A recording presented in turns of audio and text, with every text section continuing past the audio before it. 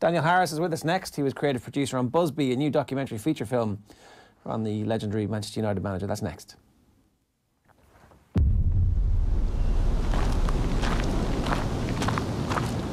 Before Matt Busby, there were no football managers. I was born in a small mining village. The people were brought up in a faith which was football. I had no experience as a manager. All I had was certain ideas, faith in those ideas, and faith in the club. Matt was the first tracksuit manager training with the players. This was revolutionary. He had this aura about him. He made everybody feel important. The Busby Babes, the way they played was rock and roll. Busby was trying to build the best club in the world. When you look back, do you think that there was any part of it that caused a sacrifice that wasn't worth it? Oh, yes.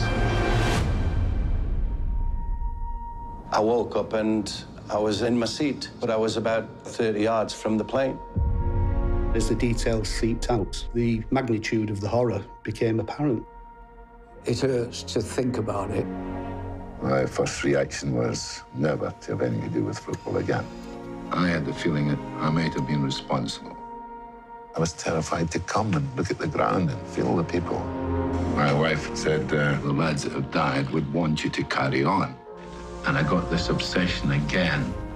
I still want Manchester United to be the best team in Europe. And the only way they can be the best team in Europe is by winning the European Cup. Matt showed the ability to knit a team. And it was an absolutely brilliant team. It was Matt's last chance to win the European Cup. He was like a father to us. You want to say win for him more than anything else. But nothing is more gratifying than to spot a star and see him develop year by year to his predestined place among the gallery of the immortals.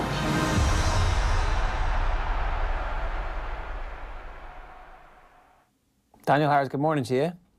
Hiya. What was your involvement with this? Um, I was the creative producer, which could mean any number of things because there was another creative producer and we did very different jobs.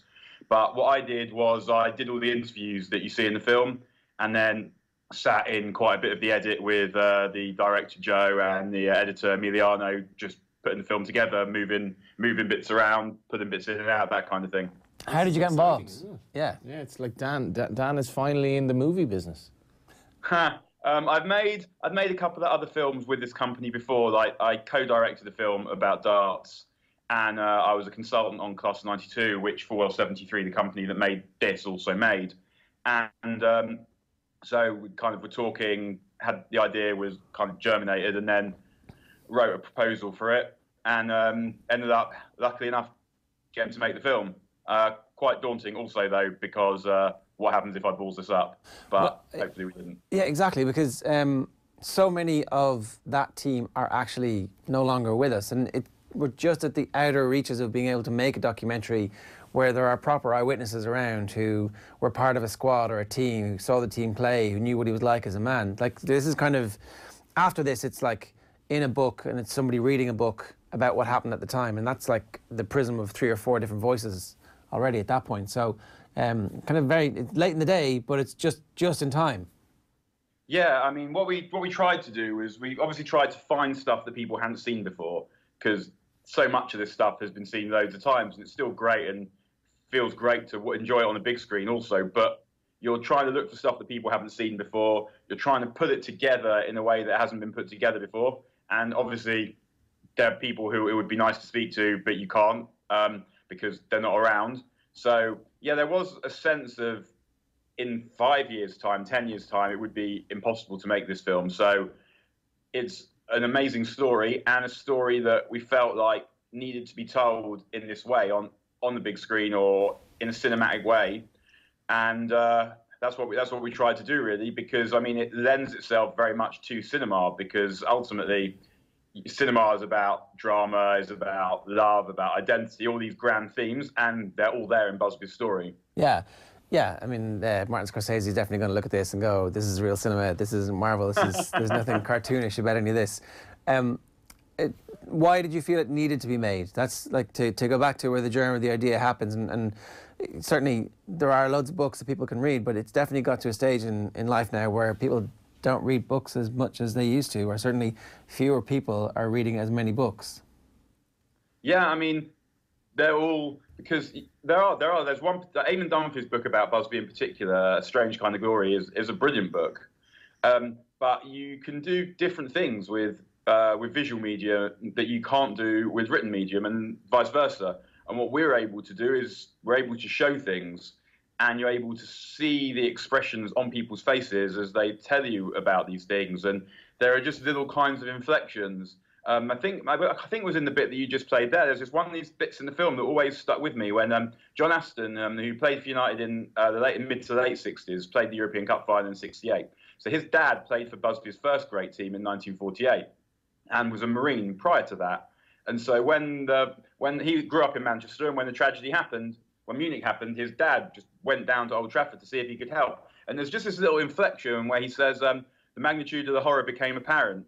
Yeah, and he just has that little pause and says yeah, and then you suddenly there's just something about it that you that the way that he delivers the lines, a little boy who remembers this trauma that you can't capture in words, and you what you get in a film is you also get to put together a load of viewpoints. So you get stories that people wouldn't really have thought about. So uh, Ken Ramsden, who worked for United for years and was secretary, um, also the club secretary, um, his his mum and her sister uh, used to work at Old Trafford washing the kits. And he talks about the fact that one one week they're washing kits, and the next second uh, they're polishing coffins, and no one was around to say, "Are you okay, ladies?" Because that didn't happen then, and there was no one to be able to do that. And the way that he delivers that story, you wouldn't get that in a book in the way that you get it in a film because you're actually looking into someone's eyes. Same with Wilf McGuinness, who was injured, so he wasn't on the plane to Munich.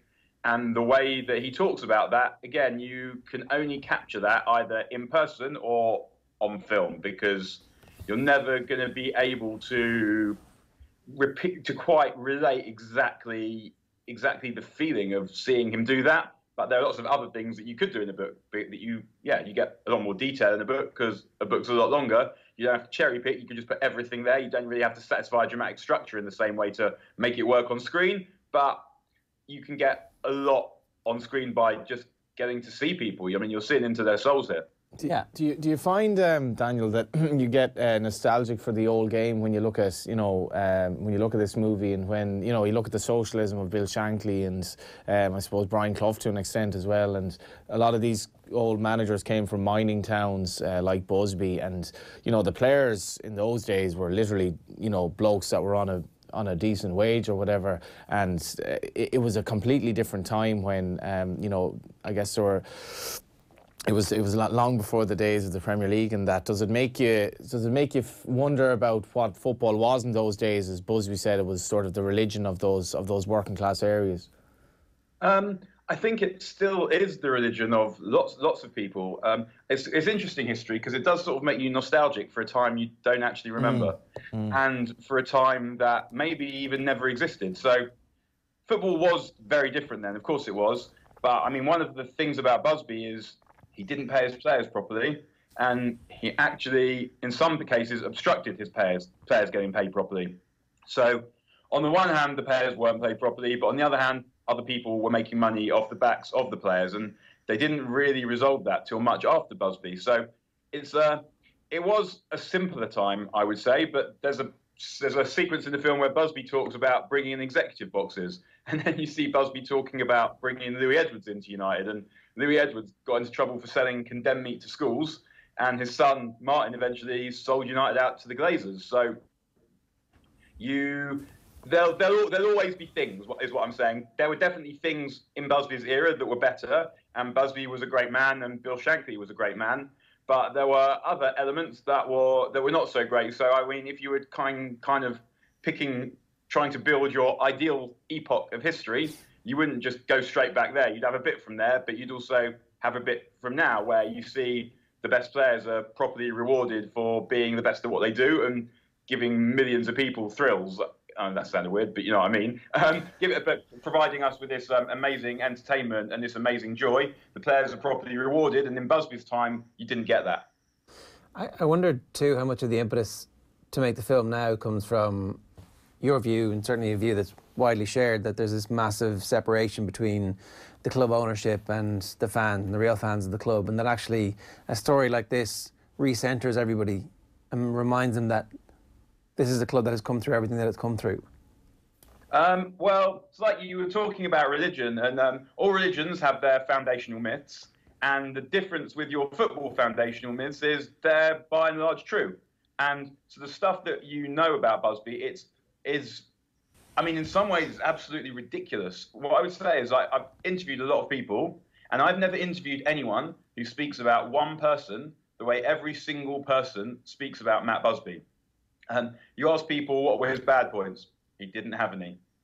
And you kind of mull that over in your mind. And when you hear it from one person, you think, yeah, all right. But then when you hear it from also extremely hard men who grew up in changing rooms, like if Paddy Crerand tells you that someone doesn't have any bad points, you're inclined to believe him because if someone did have a bad point, Paddy Crerand would be the first in the queue to tell them about it because he's a person who tells people things. Um, and it's very and so to see Busby in in that way, it's like it kind of almost feels like this guy can't be real, and he's part of that foundational myth. Except he is real because here is all this evidence about it, and um, I don't know if the film will be able to recenter people exactly because it's not going to change anyone's reality, and uh, the reality is is that United still are where they are. But I think it is nice to to remember where you came from because if you and it does feel for a lot of people definitely for me making it felt like family history because a, a united and anyone's football team will be in their life from from as soon as they can remember until the time that they die it's the only thing you can be sure of will be a constant you might like you have relationships that you think will continue but they might not people might die um, you might you might get married you might get divorced you might change your religion all of these things might change but the thing that will always remain with you is your football team. And there's nothing else that is quite at that level. And often, not always in football, but often that football team will be passed down generations. So, speaking personally, I've found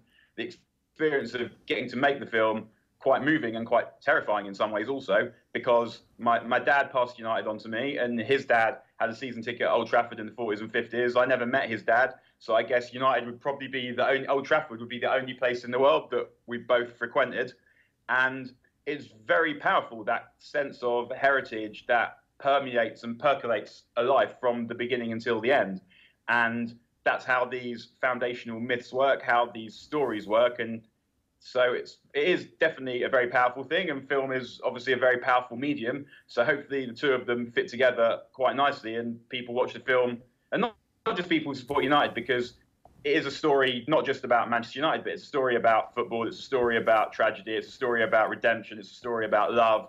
It's a story about the power of one man to do amazing things. And hopefully, people see the film and feel some things because that's ultimately what you're going for. Yeah. As a filmmaker, as a writer, you're trying to make people feel things. Yeah, no, totally. I want to play another clip. It's uh, here's some Bobby Charlton. Have a look. All the players used to say, until you actually play in the first division, you don't realise how much you push yourself through pain barriers, which you never do in reserve team games. Bobby would say, I'm knackered, I'm tired. And my father would say, well, you're not going to die. Get running again. My right ankle was swollen up, and it was quite painful. And I hadn't played in the reserves for a few weeks. And he called me up to his room and said, I'm, I'm playing in the first team tomorrow. And if there's one time I didn't really want to play, it was that day. But I said, he said, are you all right? Is your foot all right? And I said, it's all right. And, and suddenly, the attention of the whole country was on Manchester United because they're playing babies. You know, they can't possibly win anything.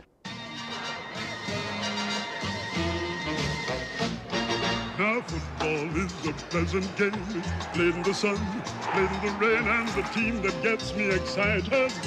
Manchester United. Manchester. Manchester United.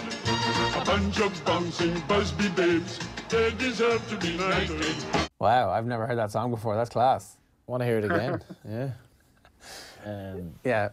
how, how much like yeah how the the, the Busby Babes how, like was it does it come across how unusual it was to put so much faith in, in young players at that time which to me it just seems extraordinary looking back. Um, yeah we um, Eamon Dunphy gave us talked about this in quite a lot of detail about how it was revolutionary and the Babes were basically rock and roll.